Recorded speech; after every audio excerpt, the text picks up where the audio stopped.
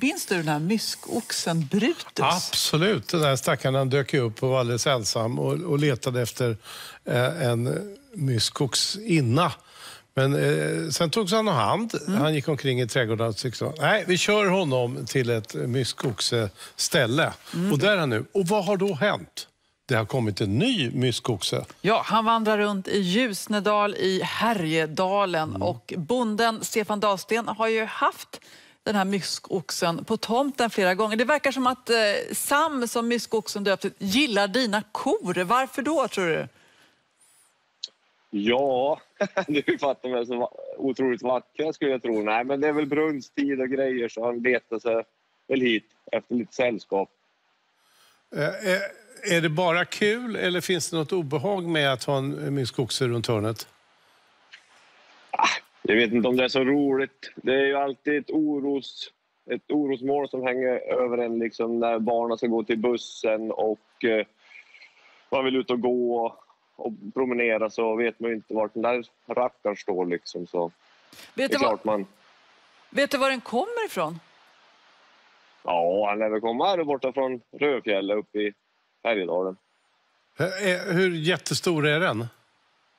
Nej, men han är inte så stor, tycker jag, jämfört med mina kor. Så...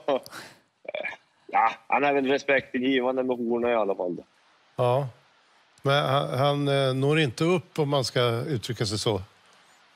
Nej, det tror jag inte. Han får nog fasiken leta fram en pall då. Men alltså, polisen har ju försökt att liksom, eh, skrämma iväg Sam. Hur har det gått? Nej, men det går väl inte så bra. De är väl inga supermyskogsexperter och vet inte hur man ska hantera sådana djur. Så man får väl anlita expertis skulle jag kunna tänka mig. Ja, vad, vad, vad, vad, skulle, vad tror du kommer hända här framöver då?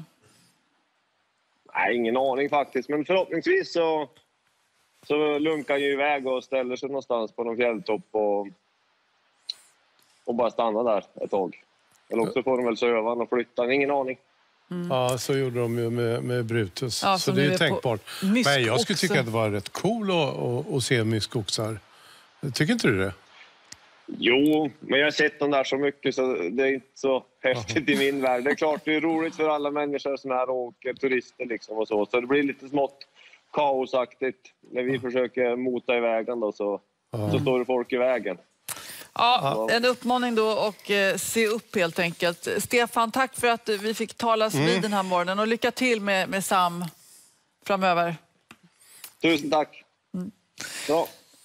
Och Brutus är alltså på Myskoxecentrum i Härjedalen. Så är det. Men Sam är fri.